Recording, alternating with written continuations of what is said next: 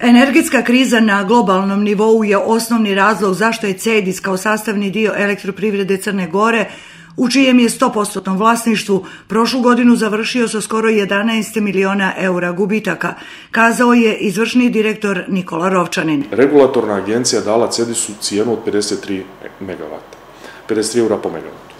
A CEDIS nabavlja na tržištu, pošto je zakonom definisano da nabavlja trži, po tržišnim cijenama energiju po 150 eura, po 200 eura, po 116 eura, dakle, sve zavisi od momenta. Dakle, ukoliko ste vi ograničeni da nabavljate neku robu po 150 eura, a ograničeni ste da je prodajete po 53 eura, dakle, samim tim iz te poslovne transakcije nemoguće je ostvariti profit.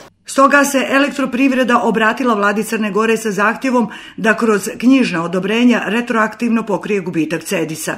Vlada kao izvršni organ i vlada u čijem je na kraju vlasništvu elektroprivreda Crne Gore većinskom, dakle 98%, donijela je odluku, odnosno zaključak kojim odobrava odboru direktora elektroprivrede Crne Gore da shodno članu 213 zakona energetici odobri knjižno odobrenje. Knjižno odobrenje u suštini znači da se određene fakture koje su plaćene koriguju za iznos koji je mimo cijene koji je regulatorna agencija utvrdila, 53 eura po megavat satu.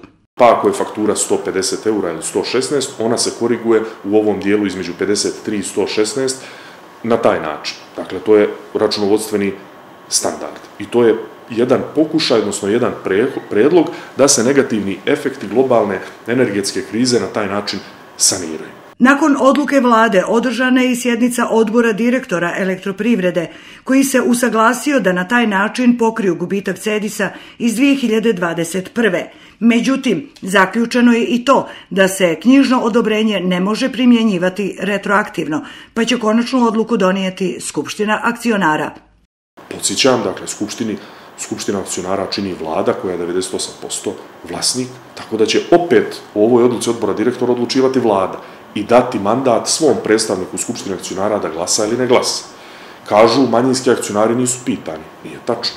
Dakle, odlukom Skupštine akcionara učestvuju, u odluci Skupštine akcionara učestvuju manjinski akcionari, koji će također opredijeliti se o tome. Skupština akcionara će biti održana najkasnije do 30. juna, kada će biti donesena i konačna odluka da li će elektroprivreda kao matična firma pokriti gubitke čerke firme Cedisa.